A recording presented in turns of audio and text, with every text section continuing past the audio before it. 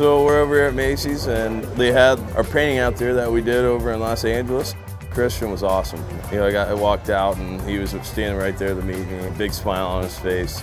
You know, was able to, to, to have him get a Cubs jersey and sign it for him, and now he's going to be a champion with that with that uh, gold lettering on the back. Um, you know, hopefully that's something that he'll he'll keep with him for a while. Christian, can you say go Cubs? Go Cubs!